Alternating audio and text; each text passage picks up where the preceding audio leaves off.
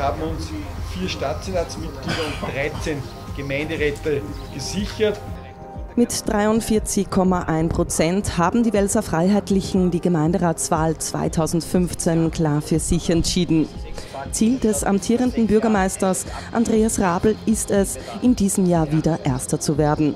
Mit einem neuen Mix aus erfahrenen Politikern und Neueinsteigern als Gemeinderatskandidaten möchte man die Vorgabe erreichen.